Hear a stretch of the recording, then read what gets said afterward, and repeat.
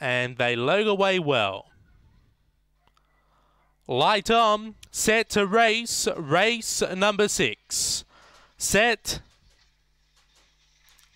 away. Long Gully Barney began well. Spirit of Pop missed the start. Long Gully Barney mustering up now and gets clear by two. On Hopi Girl making dough. Emily Circuit missing Queen and Spirit of Pop out the back up to the turn. Long Gully Barney is often gone by four. On Hopi Girl making go. Dough in the straight. Long Gully Barney doing it well and Long Gully Barney gets up to beat making dough. Ferg was either Hopi Girl or Emily Circuit. Then we go back to missing Queen and Spirit of Pop, time 22.76.